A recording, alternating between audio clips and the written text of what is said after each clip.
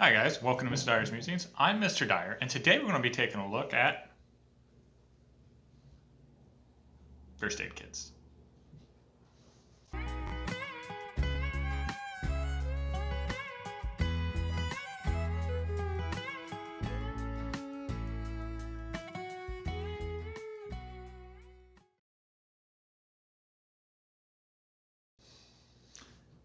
As always, I like to thank my wife and family for their unconditional support. I like to thank you guys, my viewers, for taking the time to check this video out. I hope you like it. I hope you learn something from it.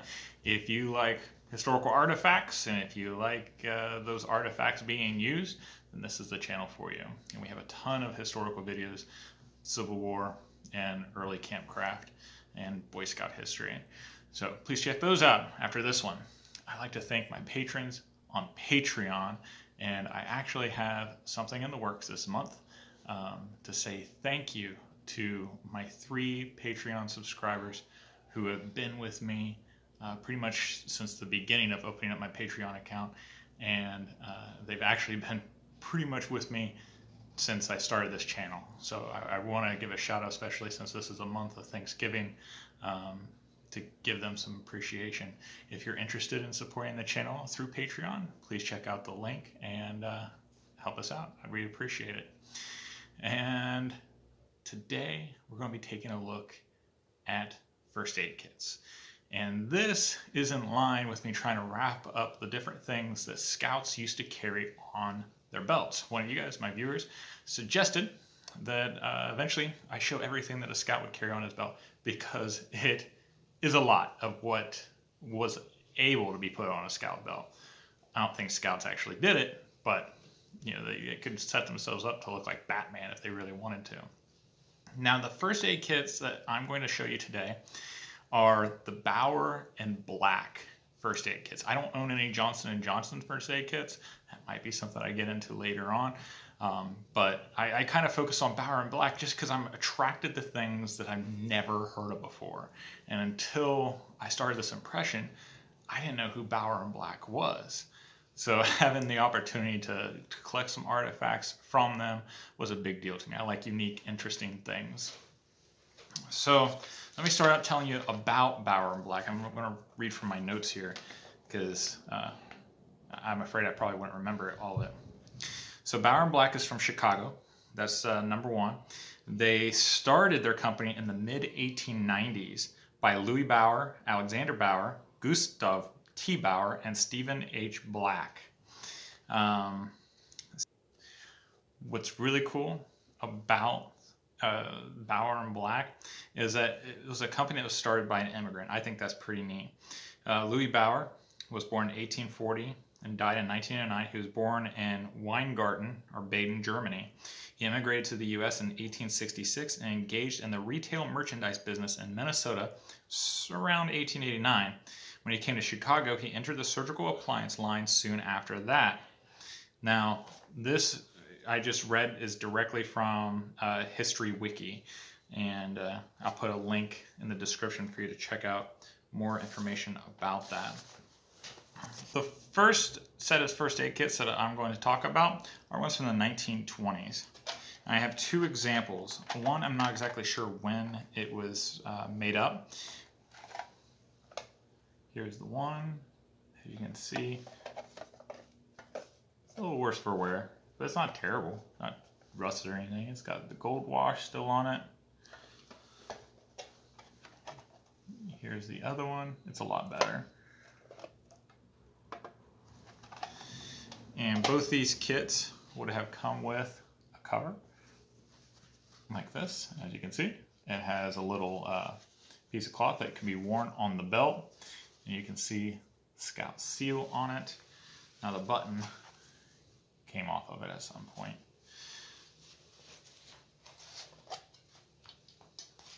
Now what would have kept, been kept in these? Mercurochrome gauze, Mercurochrome swab, sterile gauze bandages, adhesive plaster, first aid for burns, soap solvent, Vivo swabs, and it says important this kit should be kept filled. Replace each article as used. Your druggist can furnish the official Bauer and Black merchandise as standardized on and approved by the Boy Scouts of America. Insist on procuring it. There you go. Now, as I go through each of these examples, I'm also going to read off, you know, what they would have been used for. But the one kit still has this little booklet in it, and it dates to 1926 on the copyright. Copyright.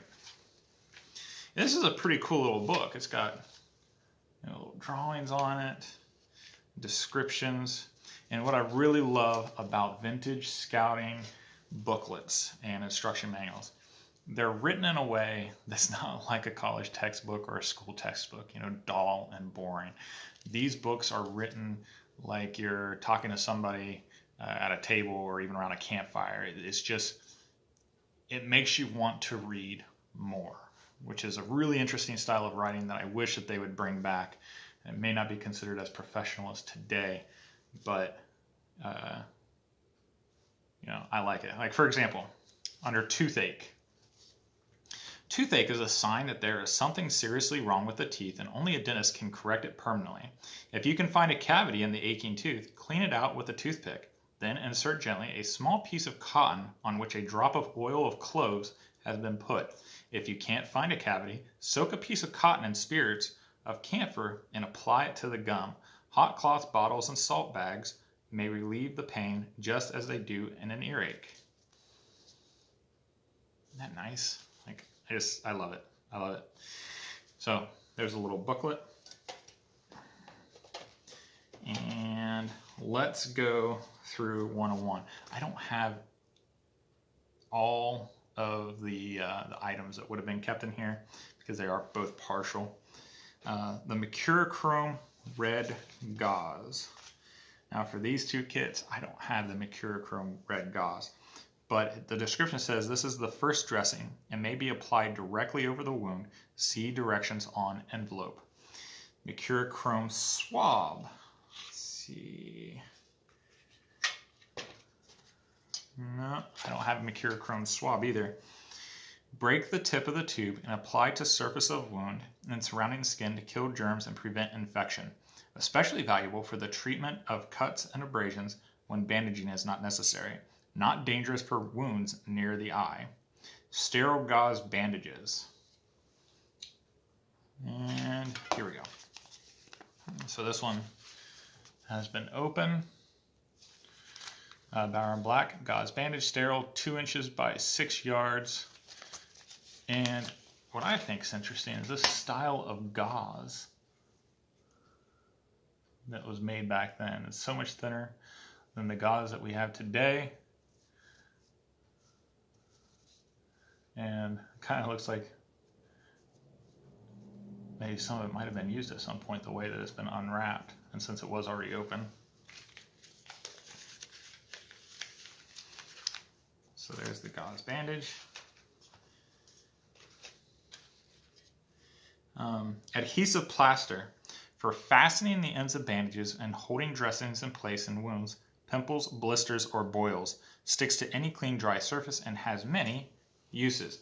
I don't have adhesive plaster in any of my kits. All of them at one point or another carry them. Um, in fact, I, I, think I'm going to do a video on adhesive plaster all by itself. But I do have this, which is an example from a different first aid kit, and I'll do a separate video on but it will give us at least an idea of what adhesive plaster looked like. So, it's, it's cloth. Now this one of course isn't sticky anymore. I don't want to take any more off of it. Um, but it's a cloth tape and uh, sports tape I would argue would be the closest thing.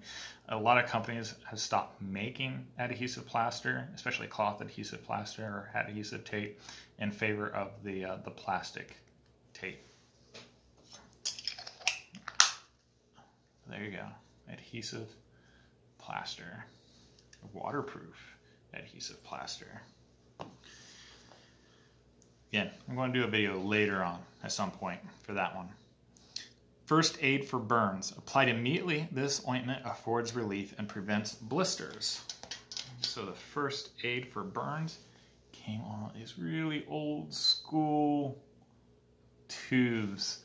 Now, these type of tubes went away in the 90s. So if you're one of the, the younger viewers and uh, it actually still, still liquid. it smells like my grandma's medicine cabinet. so first aid for burns from the 1920s, right there. Directions, apply freely to affected part if desired covered with sterile gauze. That takes me back. Soap solvent. Apply direct to reddened parts in case of poison ivy or poison oak infections. Now here is the soap solvent.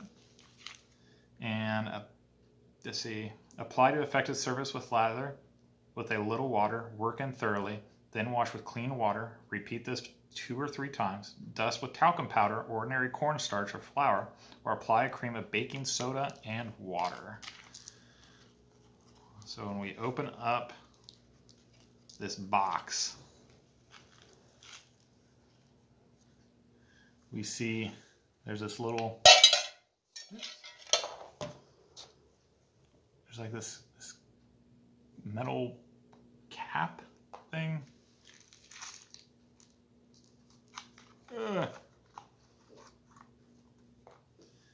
And this. This is your soap solvent.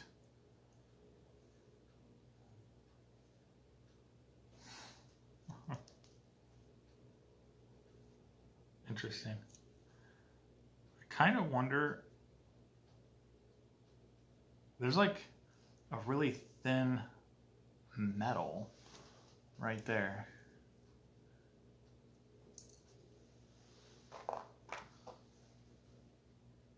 And I almost think that maybe at one point it was a tube. And then it just kind of disintegrated. It was like a paper tube. I don't know. I don't know. I, I, just, I think it's interesting. Don't know exactly what it was. I got another one that we'll open up. And this is like the first time I opened up this box, by the way. So you're getting my first reaction to this vintage stuff. All right, so there you go. Soap solvent. And Vivo swabs. Vivos swabs for shock or fainting. Break tube at tip and hold near nostrils. A touch of the moistened tip reveal, relieves insect bites or stings. So it comes in this little box, the Vivo swabs. Also an antidote for insect bites. For restoring consciousness in case of fainting, break swab at brush end and inhale. For insect bites, apply to infected parts. Again, I never opened up this box either open it up, what do we get? Oh, look at that. That's something. So this must be considered like the brush end. That's old school, man. Bauer and Black Vivo Swab break at brush end. So that's the brush.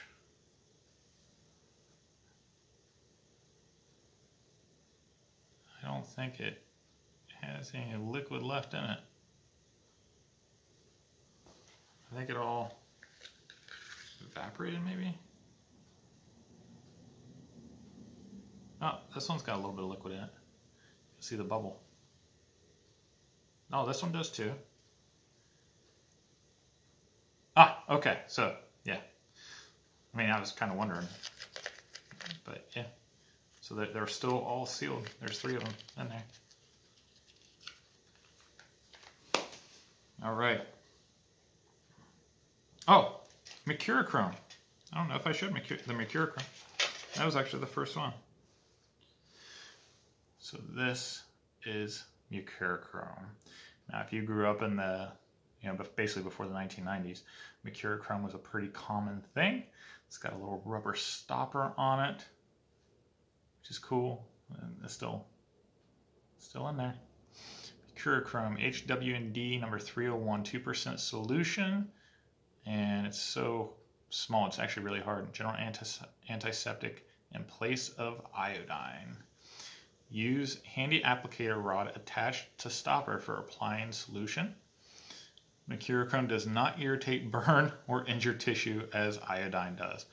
Now, if you remember using this, it does burn. It stings. But you know what? I remember stories and everything that, uh, and people say that if you use this, then um, you don't scar as bad and it heals pretty quickly. Okay. Oh, this this one also has soap solvent. Let's see. This one's being different. Oh, look at that. All right, so this soap solvent is still in its little tube. So I bet the other one was also in a tube originally. And maybe just time and everything got to it, started eating at it or something. I don't know. But there you go. There's the soap solvent. Directions apply to affected surface and lather with a little water. Work in thoroughly. Then wash with clean water. Repeat this two or three times. Ugh. Huh. So there you go. Little tube. And it was used at some point too. Okay. So there's those two from the 1920s. This next one is going to be very similar. Um, these ones from the 1920s pop open like that. And this one, which is in super nice shape, it has a hinge. And this one's actually uh, pretty complete. And it also came in a cloth cover. Still has the snap. And I this one not, doesn't have the Scout logo on it which I thought was interesting. Um, but it has a little belt loop to be used. All right, so back to this one. So we open it up, and first thing is the little booklet. This will tell us what date. 1932 is when this one was, which 1932 must have been an interesting year for and Black because there there's two styles of first aid kits that were sold by Bauer and Black uh, for the Boy Scouts of America. The, this one's like the traditional rectangular one, and it is slightly, just slightly, slightly larger than the 1920s kit. The other thing it has is how to obtain refills for the Boy Scout official first aid kit. A full kit is a ready kit.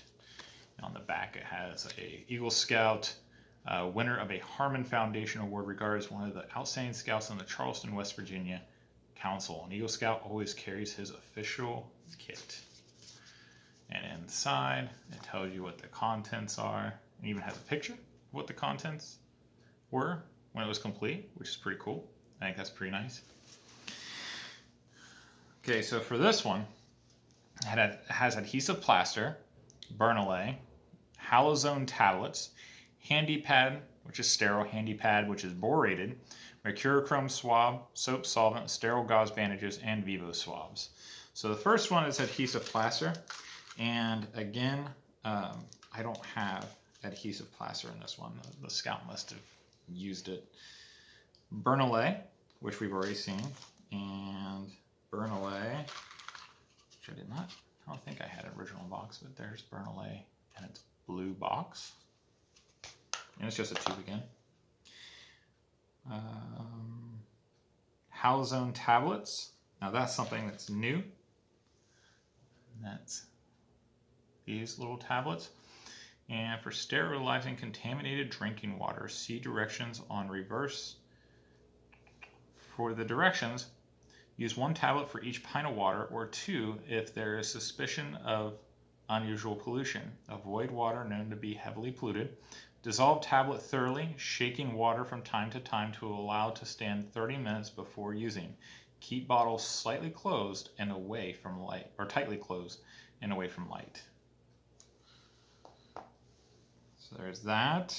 Uh, handy pad, which is sterile. Now the handy pad that is sterile, I gotta unbury it. That's when they started using like wax paper to keep things in, and you can kind of see through it. And again, it's it's super thin, light bandaging compared to what we use today and the gauze that we use today.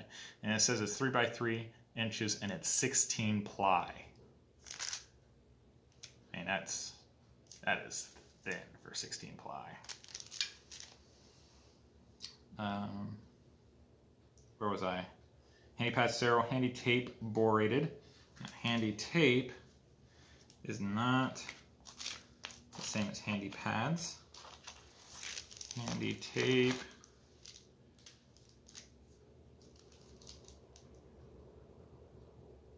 Huh, well, I don't have the borated one. I just have these. And what it basically is, is they're, they're Band-Aids.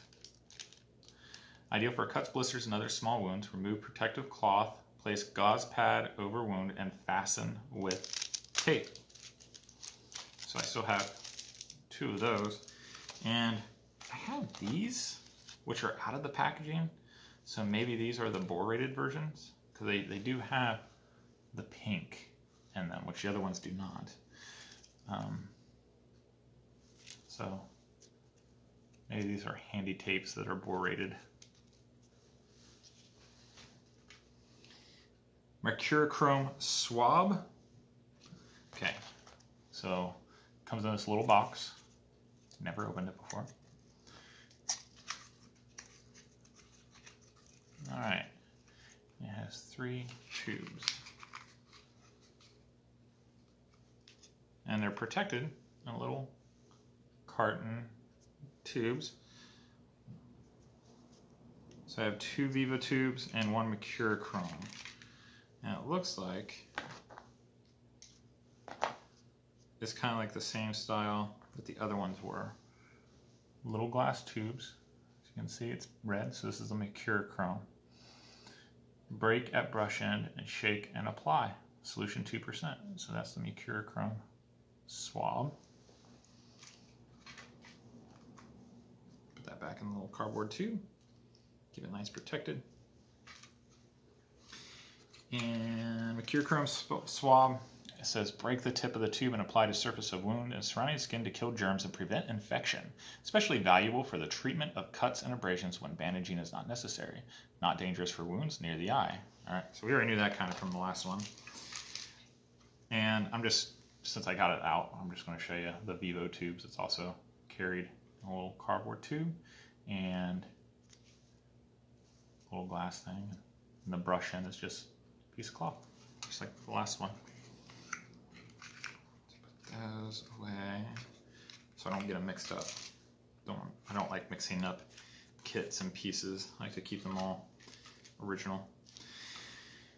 Um, soap solvent. I do not have soap solvent. I bet it's this one actually. It's not labeled soap solvent, but it has the same purpose. Poison ivy ointment for poison oak and poison ivy. Uh, apply to affected surface and lather with a little water. Work on thoroughly, then wash with clean water. Repeat this two or three times. Dust with talcum powder, ordinary cornstarch or flour, or apply a cream of baking soda and water. So I'm going to open this up. I bet it's going to be a tube again. Whoa! Whoa! Oh my gosh, it like guys, it it it has fallen apart. That the soap solvent must have something that's extremely caustic in it. Look at that. That's that's the tube of soap solvent that you would use for poison ivy. Isn't that nuts? I hope this is safe. I'm not gonna like die from breathing in this dust or something. See, I think that that's deserving of a like right there for the YouTube video. Yeah, because I, I might be put, putting my life on the line. Okay, so there's the soap solvent. sterile gauze bandages. These are both sterile and absorbent, and when folded away or folded, may be used to cover small wounds, also to hold gauze dressings in place, and as ties for splints. So there's two versions. We have the one inch by six yards, and we have the two by six yards. I got these random like tablets that was left in here. Kind of maybe that like aspirin or something back in the day.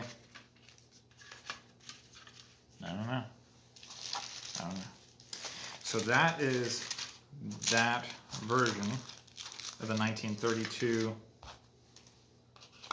um, first aid kit. Quickly put this away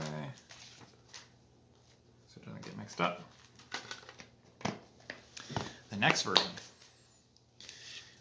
comes like this. And this is like, if it was easier to open, it'd actually probably be my favorite one. It's this kit. Bauer Black.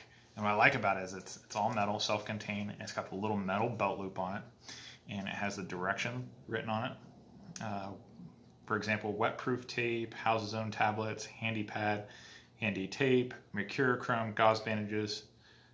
This kit should be kept filled your drug is going to supply the official Bauer and Black item dressings. It's approved by the Boy Scouts of America. Made in the U, excuse me, USA.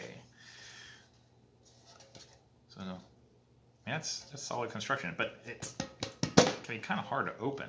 So if you got a, like a first aid emergency or something, that's going to be really difficult to get to um, when you're trying to save somebody's life. All right, so I have two examples. I try to, I buy like multiples of two because um, my, my boys, you know, trying to get into the, the living history as, as well. So when they go with me, I want to make sure that they had a complete kit. So that's why I always tend to have two of things. But this one says, has a little booklet, 1932. The other one that I have exact same style. This is a little bit nicer condition. It also says 1932 on it. All right, so I'm going to quickly go through it. I'm not going to repeat the ones that we already worked on. Wet proof tape for fastening the ends of bandages, bandages and holding dresses, dressings and plates. I don't have wet proof tape. That would have been like the adhesive plaster that we talked about. It would have come with Bernolay, which we already had, Hal Halazone tablets, which comes in a slightly, slightly different bottle, just slightly, uh, just the label, really. Um, the Bernolay came in this box now, so the blue box is a little brown box, and it's still a little tube.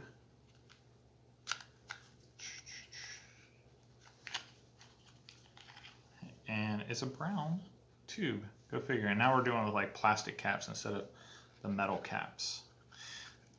And uh, what's interesting is 1932 is at the beginning of the Great Depression.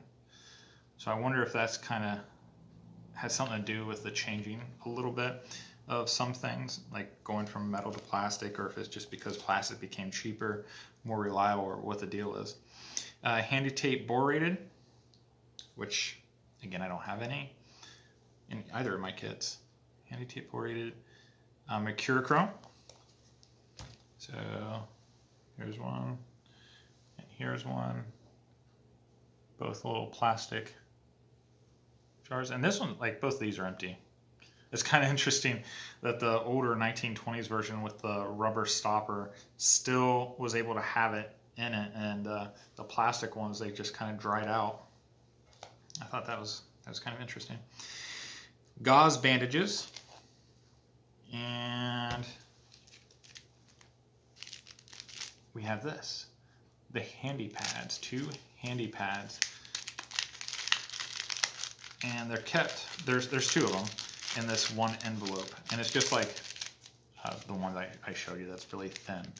That's kind of nice that it came in an envelope to keep them together. This is a first aid dressing. It may be applied directly to the wound. And that's it. Like that's gauze bandages. Oh no. So there's a difference. Oh, here.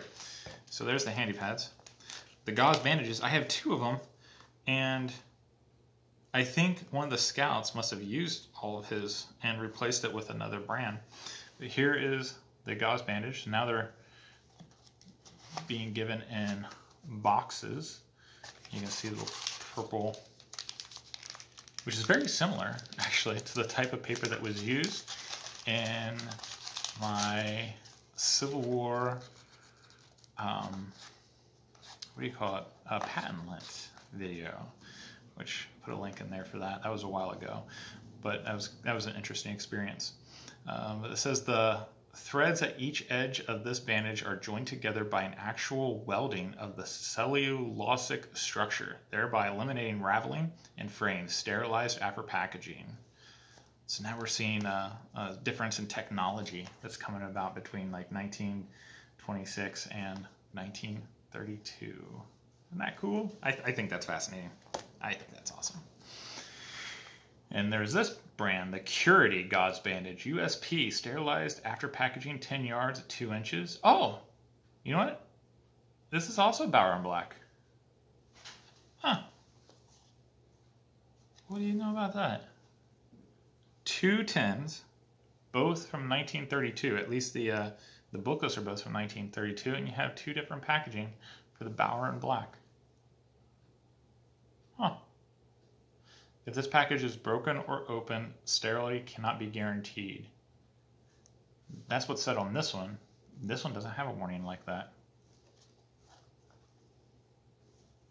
I love that. Like I, I love the history of artifacts, especially when you find things like that where they're it's, it's exactly the same year. You know, what, what's the difference? What happened? As you can see, this, look how thin that is. Yeah, you can see my fingers through it.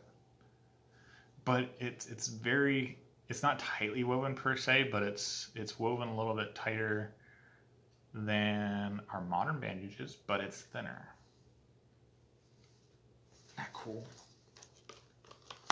I think that gives us an insight a little bit about how, especially of course, medicine developed over a period of time.